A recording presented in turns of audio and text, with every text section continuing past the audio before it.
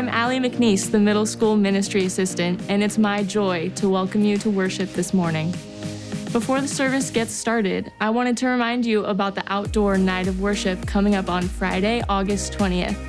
Come early for fellowship food and inflatables at 6 p.m., and then we'll begin worship at 7 p.m. We hope you'll join us for this special night as we worship our Savior and King. Also, there are still opportunities for you to be the church and serve the body of Christ here at Canyon Hills. Some of you might be a little nervous to serve with a new ministry. Hey guys, I'm so excited to be your life group leader this year. I'm really looking forward to a great year. Whoa, what are we doing? What are we doing? Whoa, whoa, whoa!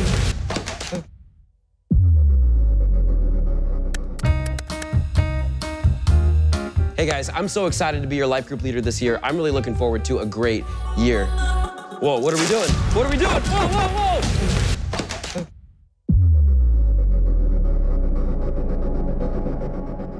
No, no, seriously. Leading a life group isn't that bad. Student ministries is the best. So come and join us. As someone who works with students on a regular basis, I can assure you that it is such a joy and so rewarding to work with the next generation. To serve at Canyon Hills, you can visit one of the booths outside in the lobby, sign up on our app, or visit canyonhillscommunitychurch.com/serve. We'll help equip you to faithfully serve others to the glory of God. That's all I have for today. Now let's lift up the name of the Lord in worship. Good morning, church. Let's all get to our feet and sing these words together. Worship the God who was. We worship the God who is. We worship the God who evermore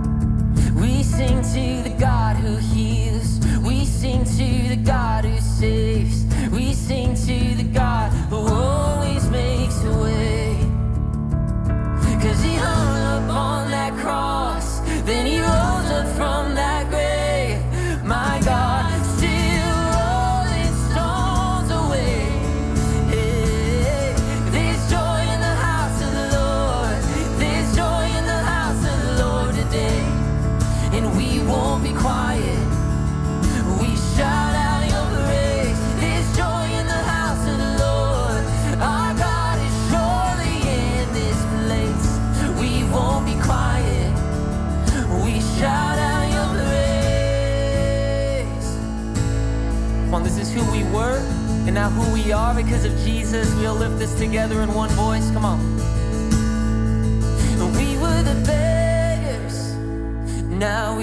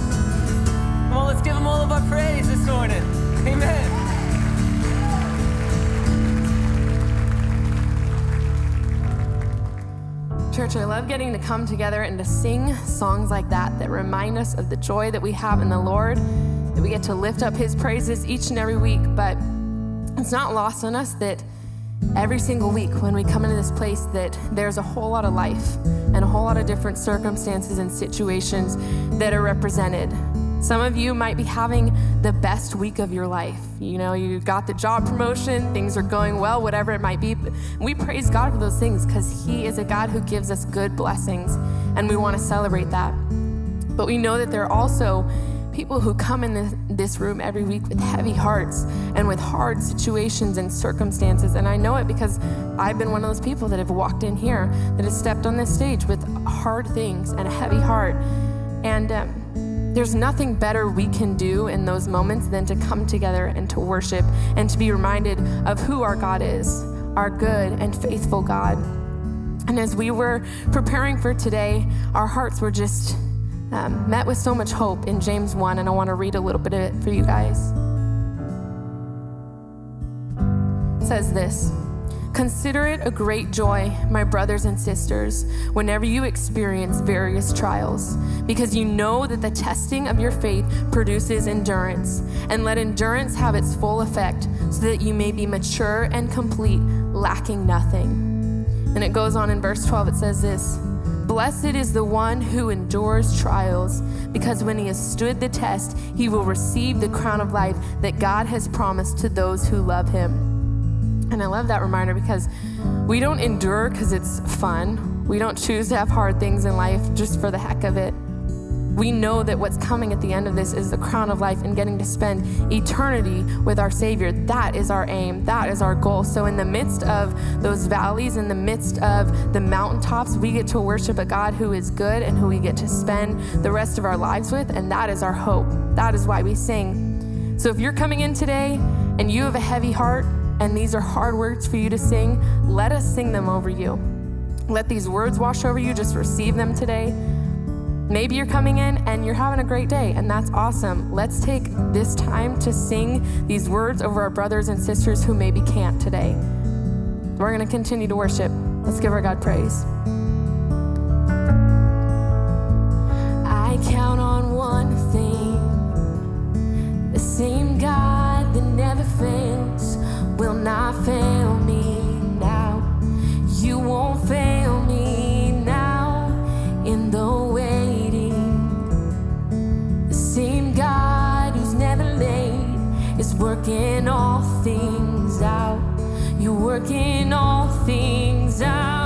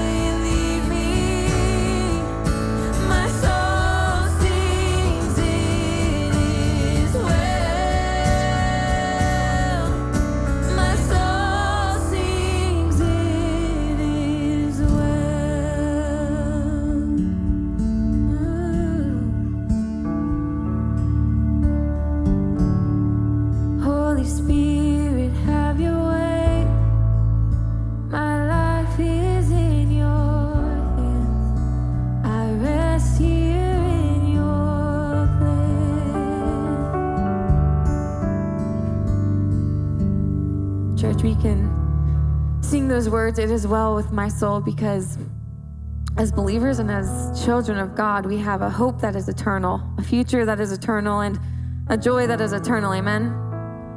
Amen. We are going to spend time in prayer, so you can have a seat.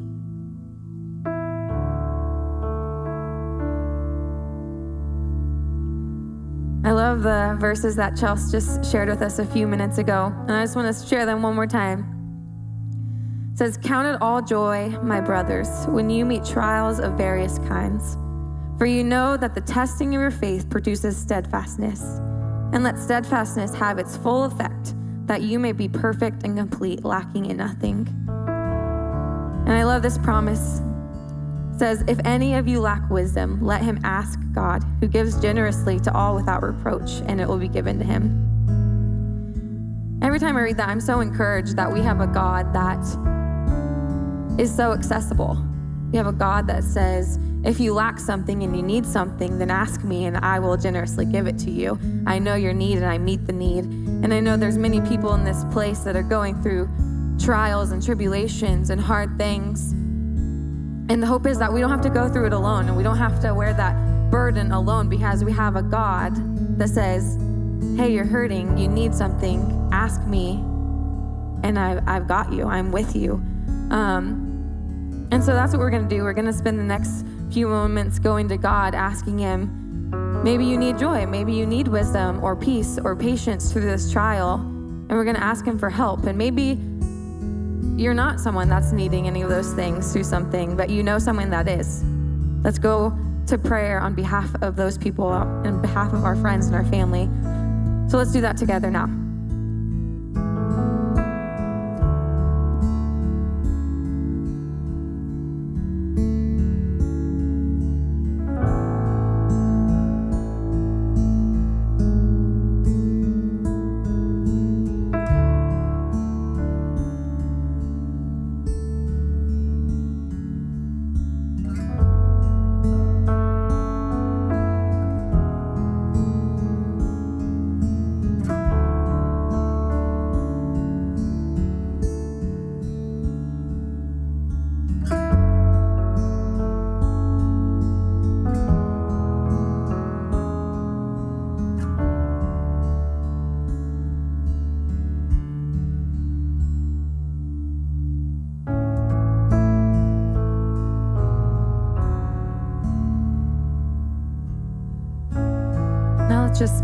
Moments praising our God in our own words, thanking Him that He is a God that has open hands and hears us and knows our need and meets our need. He's been faithful before, He will be faithful again. And let's just praise Him now.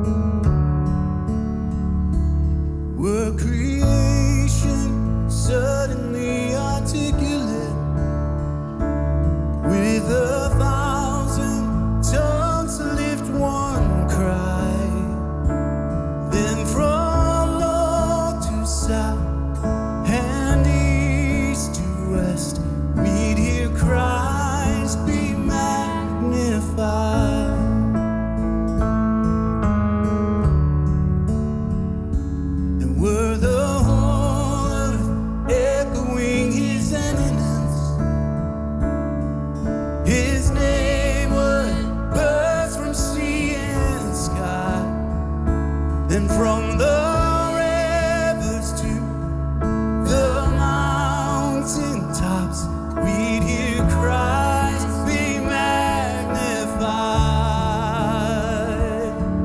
Come on, let's fill this room with His praise today. And oh,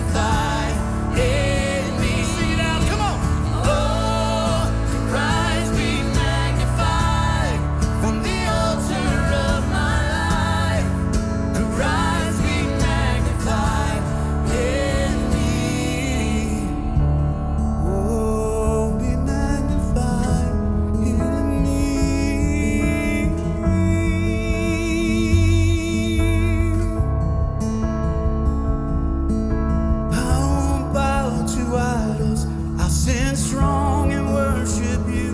And if they put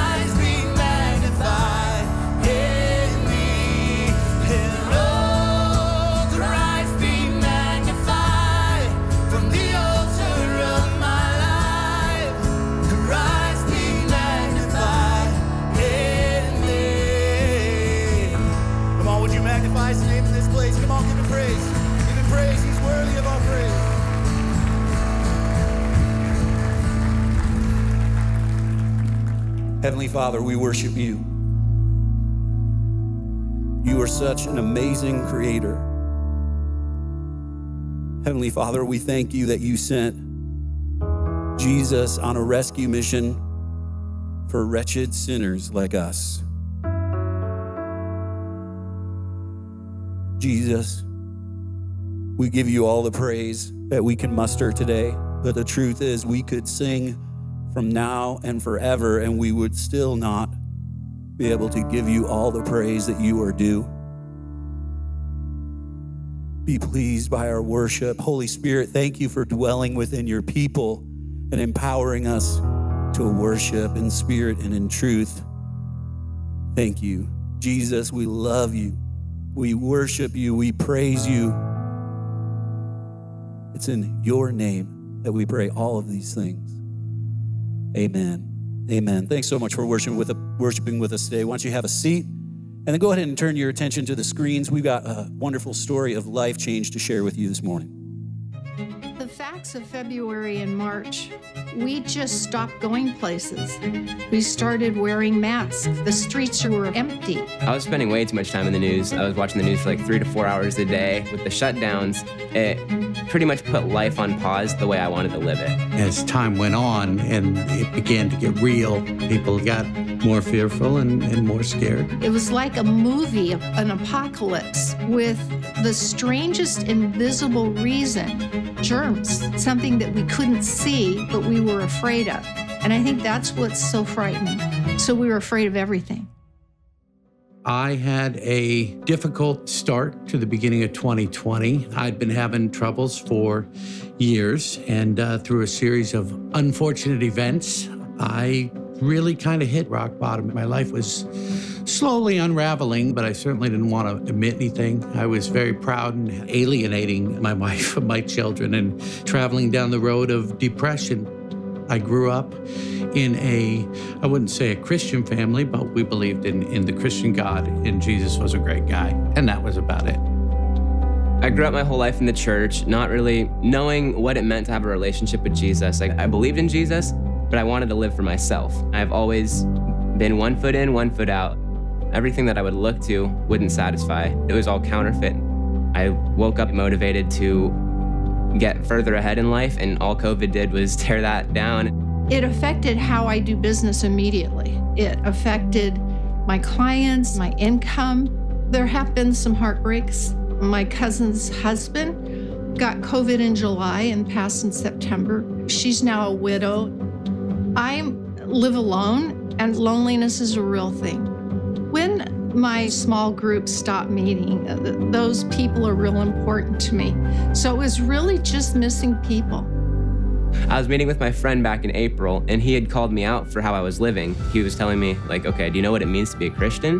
being a Christian is being an ambassador for Christ. I thought about it like, okay, if I'm living the way I'm living, if I'm blending in with the culture, how would a non believer know what Jesus looked like? How am I doing that by the way I'm living? It was at that moment that I realized I have to choose, I can't serve two masters. I remember going home and praying, and that's where I gave my heart to Jesus. I, I prayed that He would give me a heart for Him and that I would seek Him and seek a relationship with Him.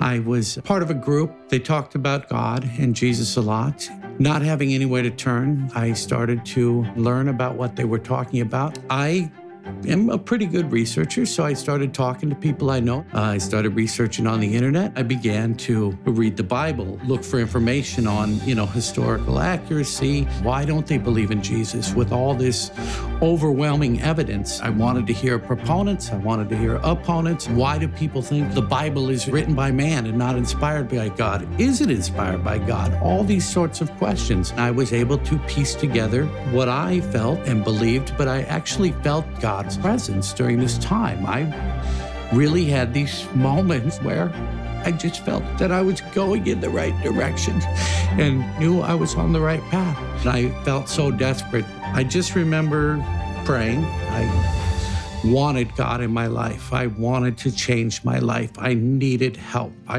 admitted that I was broken. I submitted. I let go. And I began to notice changes in myself, uh, the way, you know, I would I would talk, the things I think about, the way I behave. I didn't start fighting these urges; they were becoming natural. Even with the pandemic and all the drama and upset and uncertainty of this year, God has been stirring in me this desire to move as a missionary to where Muslims are migrating into post Christian Europe. We let go of, you know, gym memberships. We let go of restaurants. We let go. We've let go of a lot of things. What I've learned this year is that I can let go of even more and serve God abroad. I don't have to be a genius to go and serve in another country. I just need to show up and be willing uh, to listen to the Holy Spirit and to serve, sharing the gospel, sharing the good news, being God's hands and feet. I mean, we have no greater calling. And we know that for those who love God, all things all things work together for good. For good, for those who are called according to his purpose. In hindsight, it has been really cool to see how God used seemingly bad things like COVID or struggles politically or my own sin struggles and how my friend called me out. God used all of those things to bring me closer to Him. He brought me to repentance and faith in Him. I saw benefits of this season that I couldn't have anticipated. I just can't wait to go. The thing I'm most grateful for in the last year was finding Jesus, my Lord and Savior, and committing my life to Him.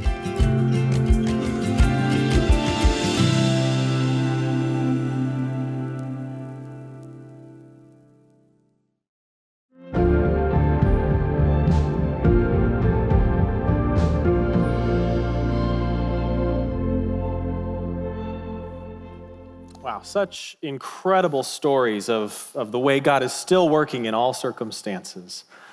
Uh, well, good morning, church. My name is Graydon. I'm one of the pastors on staff here at Canyon Hills, and I've been here just shy of two years, so I don't know everybody yet. I'm still kind of new. Let me give you a brief snapshot of me. I'm uh, some of you might recognize me from doing baptisms um, over the last couple months. Others of you might have been to a young marrieds event, or some of you might have even come to a, uh, one of my School of Discipleship classes that I've taught. I absolutely love diving into God's Word and studying theology, so much so that I went to four years of school to study the doctrine of the Trinity and absolutely loved it. Uh, I'm married to my high school sweetheart, Erin, and we've got two absolutely wonderful kids. And over the last two weeks, Erin and I have been enthralled in doing something probably a lot of you have been doing. We've been watching the Olympics. Has anyone else been watching Olympics? Just a few. Okay, great. Well, we love the Olympics. We love watching people who have dedicated their lives to becoming the best at something. And one of the things that we've been watching quite a bit is volleyball. And I've noticed something about the US women's volleyball team that everybody on the team is very different. You've got the outside hitter who can jump a mile high and slam a spike down a million miles an hour against the other team. And then you've got the defensive blockers who are like seven feet tall and super tough to just stand there and take the slamming spike. You've got the, the setter who never scores a point on her own, but she is integral in setting up the rest of the team to win. And then in the back, you've got someone who's usually a, like two or three feet shorter than everyone else on the team, whose defense, and they are diving after the ball and trying to save the team from losing points. Every teammate needs to be in their position and giving their all to belonging to the team in order to win. We're going to be talking this morning about what it means to belong to one another. And I think this image of teamwork at an Olympic level is helpful in framing this kind of unity among differences that the Bible is talking about. So let's dive in. If you have your Bibles, uh, open them up or pull your phones out and open up to Romans chapter 12. But before we read this passage, I'm going to start with a little bit of context. But bear with me. Uh, context doesn't mean, okay, now you can go to sleep. But this is important stuff. And if you've ever taken a class with me, you'll hear some things I like to say over and over again. And one of them is that I like to look at scripture in big chunks. So when I found out that I was going to be preaching on a small section of the book of Romans, I wanted to zoom back out and see how that passage fits into the book as a whole. I find this incredibly helpful, both for preparing things like this, but also just in my daily walk with Christ as I'm reading God's word. And if you've ever sat in the front row of a movie theater, you know why this is important. Not just because it hurts your neck to look up at an IMAX screen, but also if you're only able to see one corner of the screen, you miss out on how that fits into the rest of the story. You might see in great detail the very corner of someone's foot, but you don't know why that fits into the rest of the story. So that's what I want to do this morning. I want to set back a little bit and look at how our passage this morning fits into this letter that Paul wrote to the Christians living in Rome. Now, Paul wrote to the Roman believers in a time of disunity. So bear with me for one minute of history, all right? In the Roman church, you had the Jewish Christians and the non Jewish Christians. Up until the emperor got rid of all of the Jews, he expelled all the Jews out of Rome for five years. And so when that happened, the church in Rome was only the non Jewish believers. But after those five years, after the church had developed and grown for a little bit, the Jews were allowed to return back to Rome. But when they got back to Rome, they found that the church in Rome was very non Jewish, mostly in the way that they lived out their faith. And this caused, as you can imagine, incredible conflict and disunity as they were asking questions like, should we keep the Sabbath like good Jews? Or do we need to be circumcised like good Jews in order to be Christians? The church was incredibly divided over some of these issues. And so Paul is writing into this context when he gives us the beautiful picture of the gospel that we get in the book of Romans. Now, quick word about Paul. Paul likes to write his letters in two parts. The first is the what the what of the gospel. What has Jesus done? Who are you in Christ? And then the second part is the now what? Act like it. Act like you are already in Christ. And in the chapters leading up to our passage this morning, Paul gives us the what, the content of the gospel. He beautifully and clearly presents the gospel in a way that some people like to call the Romans road, showing us that all have sinned and fall short of the glory of God. That the wages of sin is death, but the gift of but the gift of God is eternal life through Christ Jesus our Lord. That God demonstrates his own love for us in this while we were still sinners, Christ died for us. And whoever confesses with their mouth that Jesus is Lord and believes in their heart that God raised him from the dead, they will be saved. Many of you have those verses memorized and you've walked people through the Romans road before. This is the gospel. This is the reason we're all here. And all of this in Romans, Romans 1 through 11, leads us now to the now what? The change that Paul's expecting based on the truth of the gospel. Okay, you still with me? I'm seeing a few people asleep. Okay, here the reason that I'm sharing all of this is because this is important. This five week series on being the church is not a recruitment pitch. This is not the issue of our church having these needs and we're desperate for help and begging you, please come help us. We need your help. This series is the now what of the gospel. This is our part to play after we've been saved, after we've encountered Jesus Christ and been changed and transformed. This is what we now do.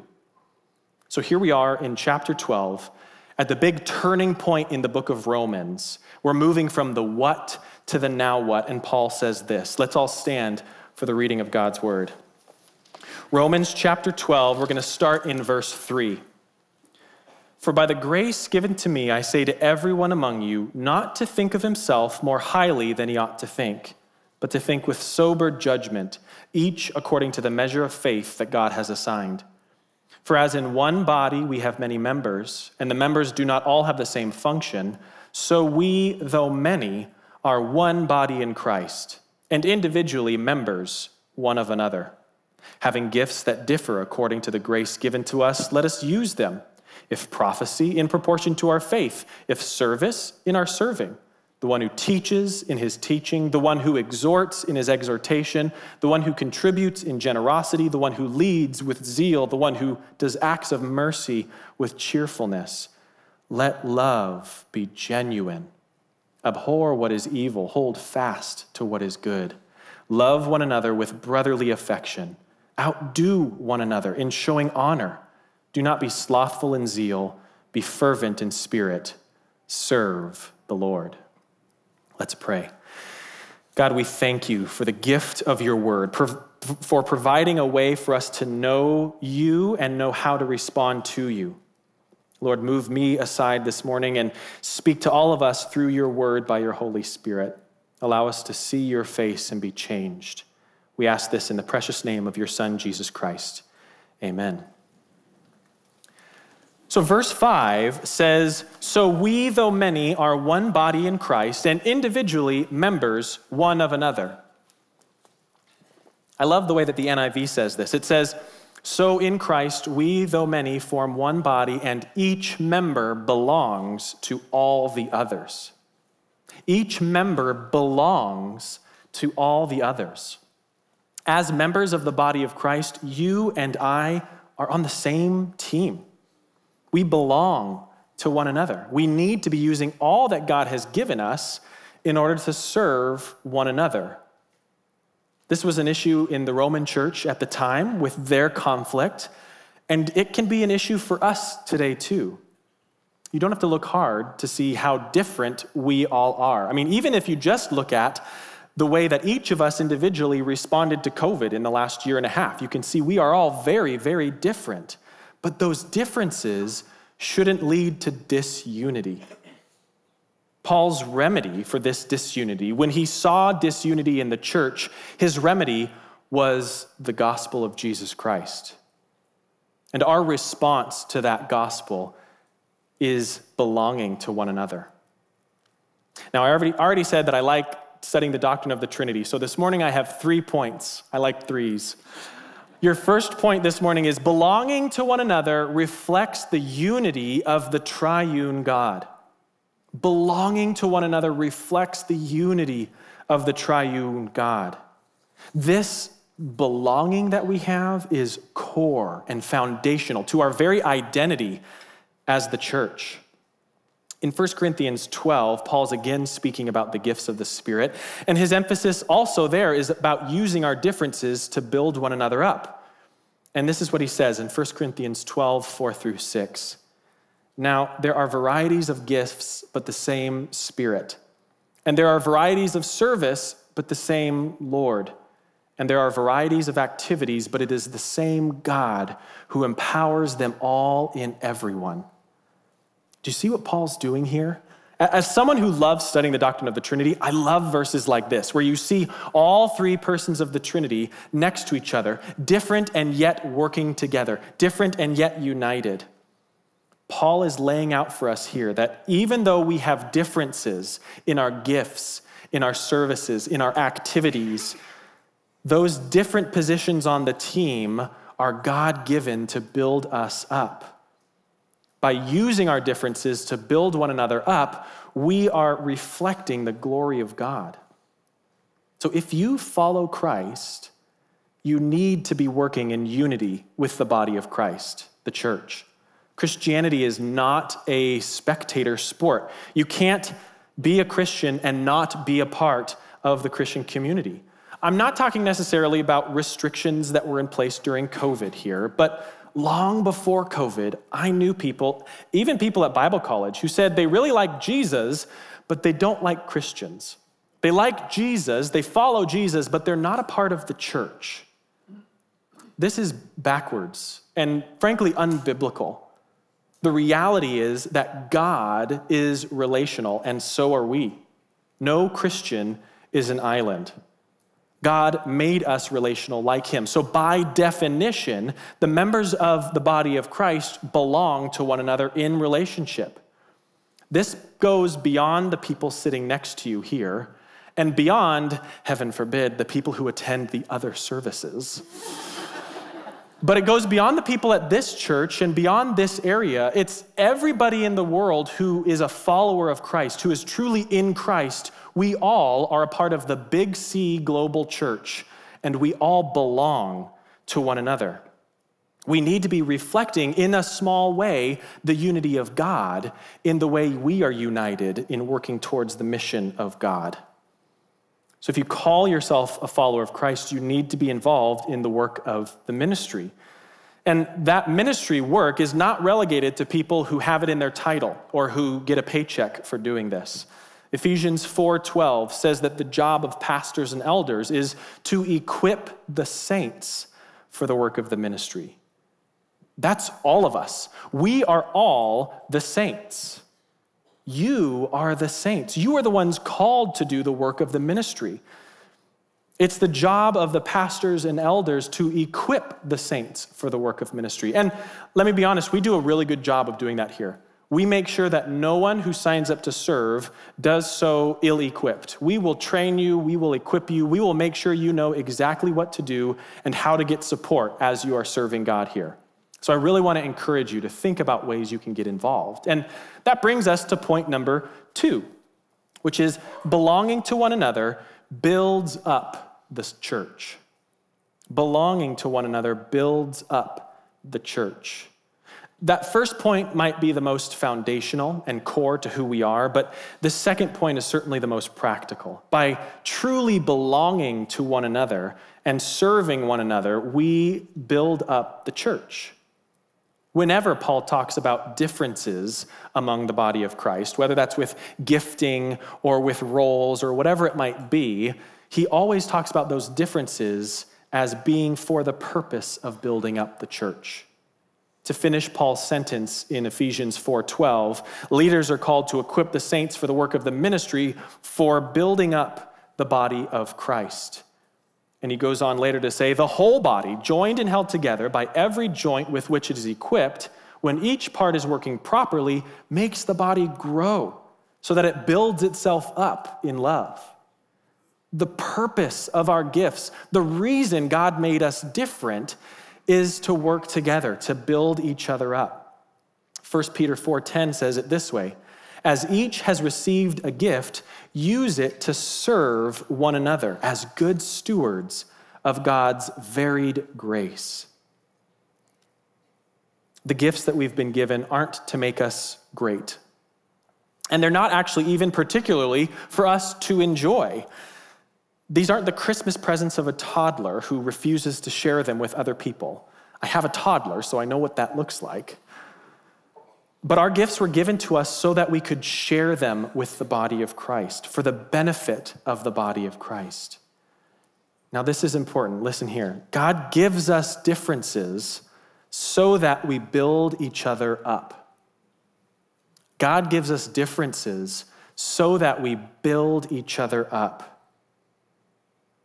Now, this can be done in rather spectacular, amazing, upfront, life changing ways. And it can also be done in ways that seem on the surface kind of mundane and everyday. For example, after moving from this area, my wife and I went to college down in California, and then I went to seminary down there, and then we moved to Scotland, uh, where I went to even more school and studied the Trinity.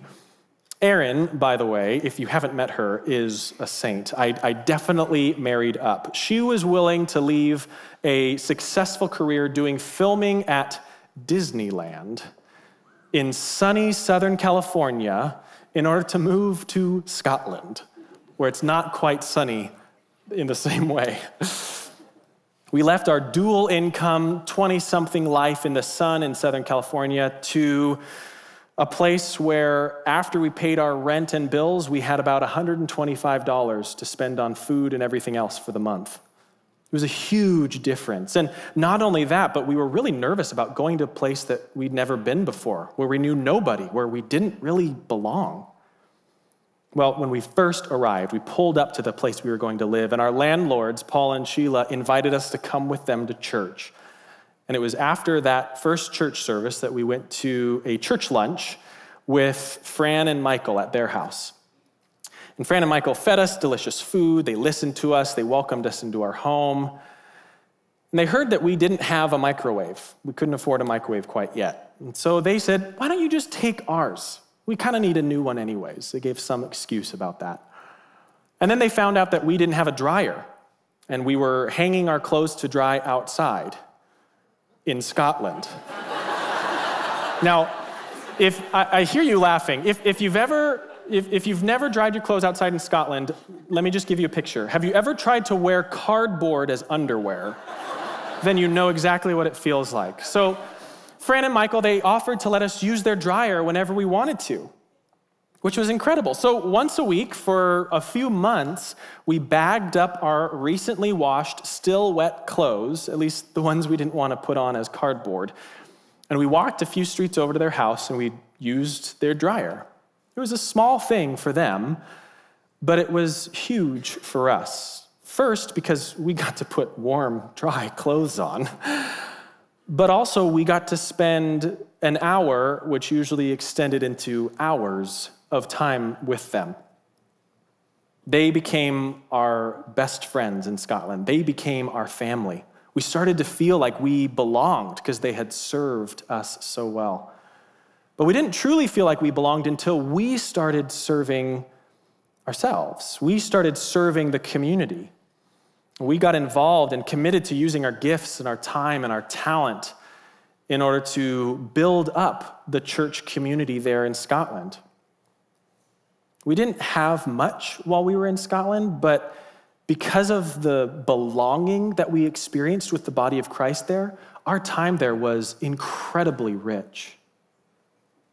So, building up the body of Christ can be a seemingly small thing like that, like sharing your dryer with someone else.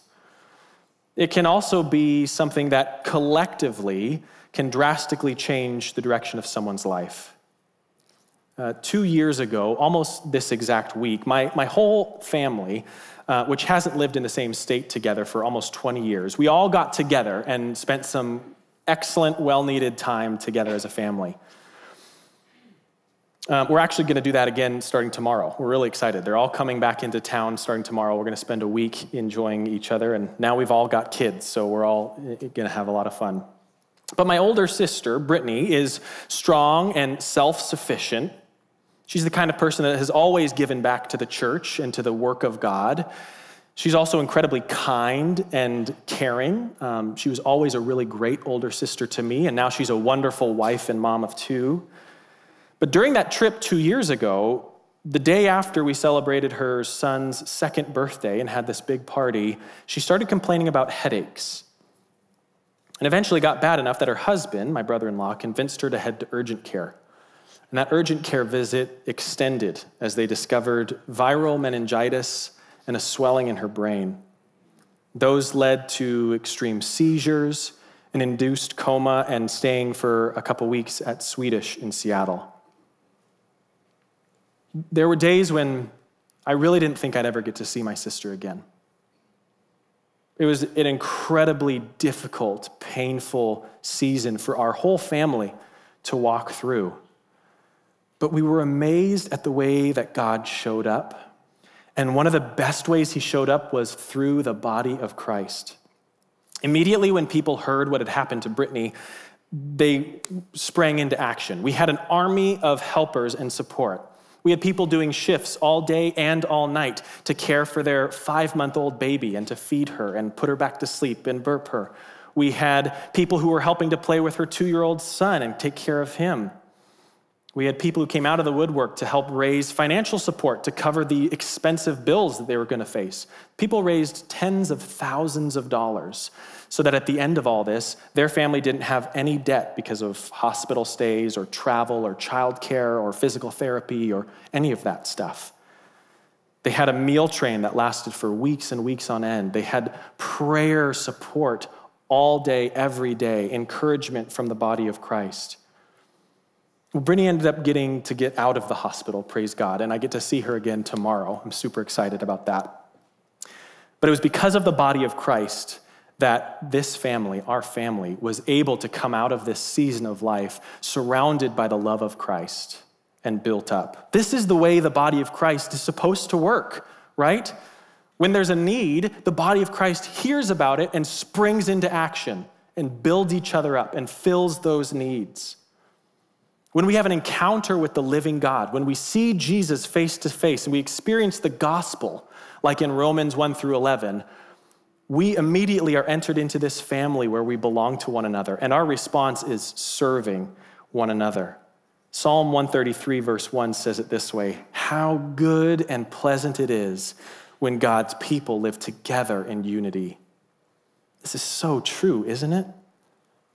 Many of you have your own stories of ways that the body of Christ has shown up for you, the ways that you have belonged to the church. I saw this here at Canyon Hills in incredible ways, especially in life groups during the COVID season. We had some people who had been in careers for 30 years, and 2020 was the year they were forced into early retirement. We had people losing jobs, we had people going through pay cuts and sicknesses, and not to mention the additional strain of always being at home, which now also became the office and the school for our kids. It was an intense time of life, in addition to the normal highs and lows of everyday life. But I was amazed to see how, especially in our life groups, life groups banded together to offer support and care for and build up the people in their groups that were in need. But I've also known that some of you have felt really isolated during this time, during this COVID pandemic season. You stayed distant for a long time, either for your own health reasons or out of a desire to protect the health of other people around you.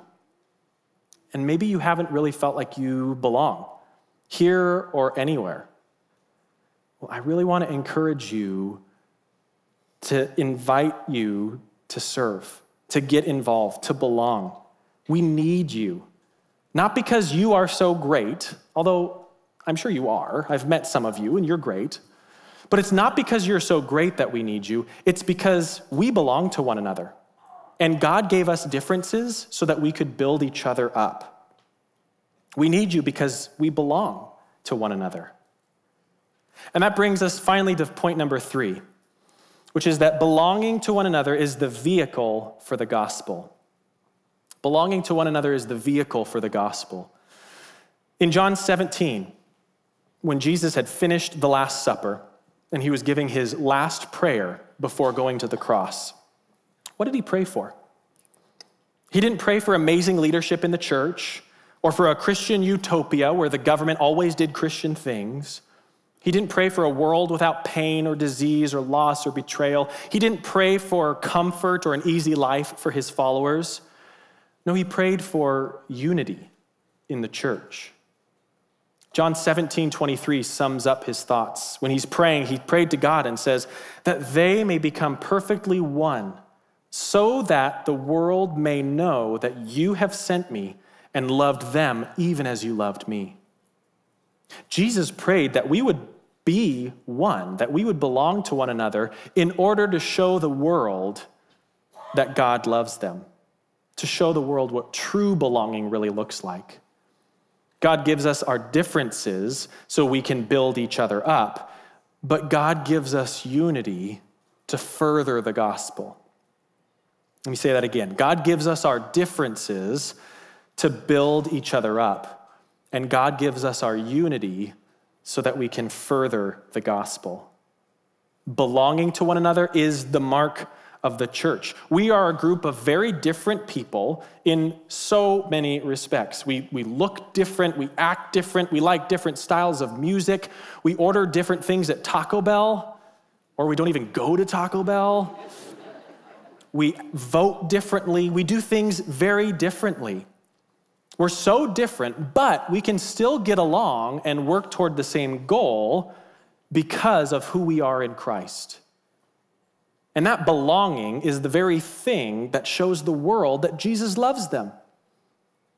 John 13, 35, by, all, by this all people will know that you are my disciples, if you love one another. God could have individually revealed himself to each person without the aid of the Bible or the aid of the church, but he chose us to bring the gospel to the world. And this has always been his plan. Even back in Genesis chapter 12 and Genesis 22 with Abraham, God said that he would bless the world through Abraham's family. God has always used people to further his kingdom. We are the hands and feet of God, moving the gospel out, and we need to be in step with one another.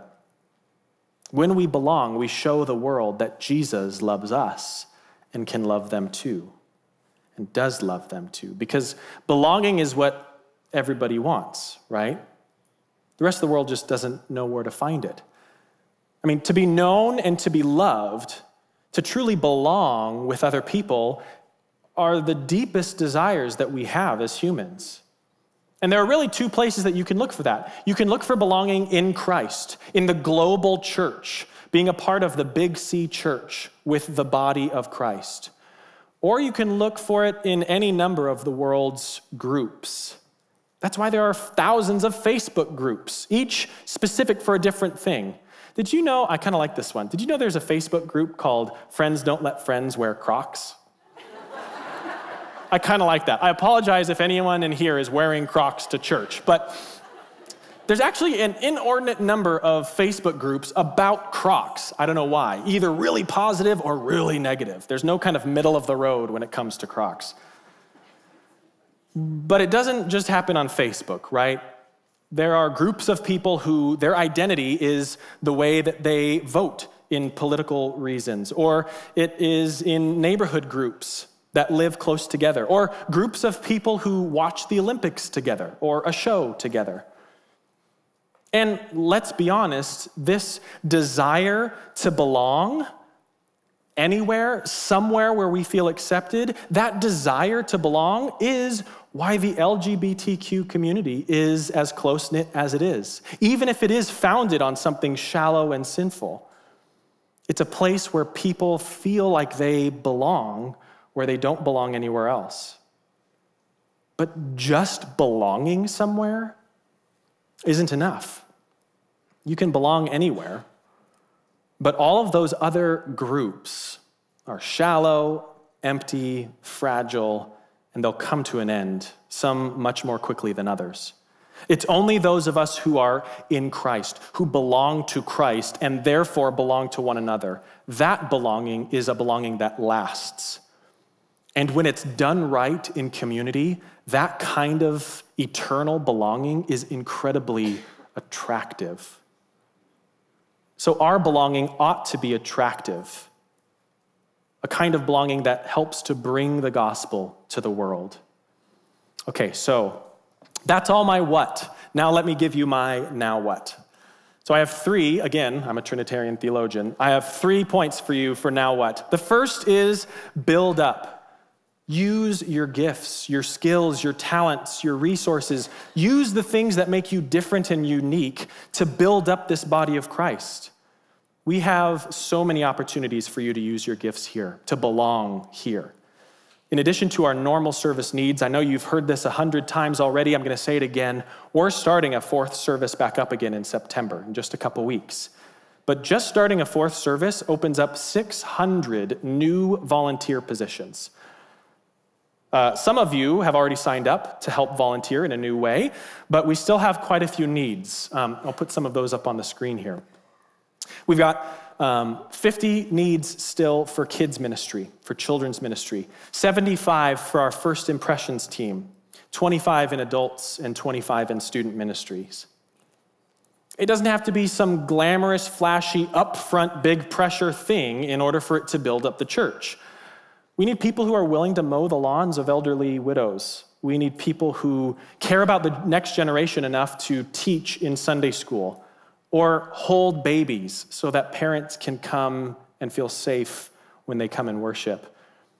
We need people who are willing to lead others and lead life groups, people who are committed to making more and better disciples of Jesus Christ.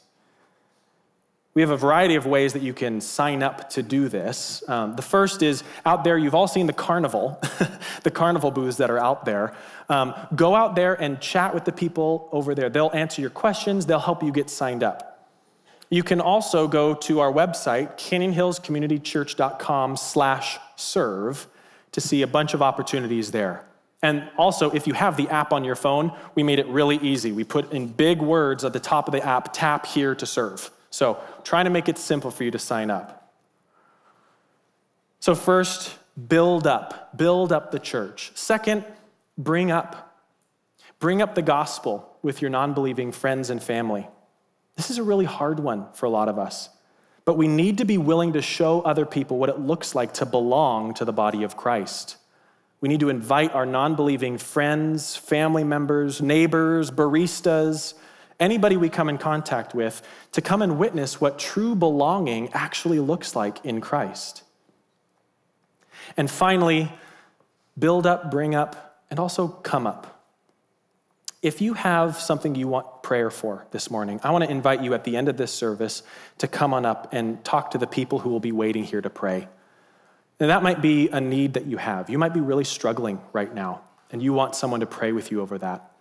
Or you might be in a really good season and you want to praise God for all that He's doing. And I invite you to come up as well.